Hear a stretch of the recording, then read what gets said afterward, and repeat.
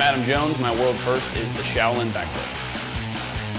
I kind of had the, the thought of like, look, bar tricks are what I'm good at. So if anybody is gonna do a Shaolin flip first, it's gonna be me.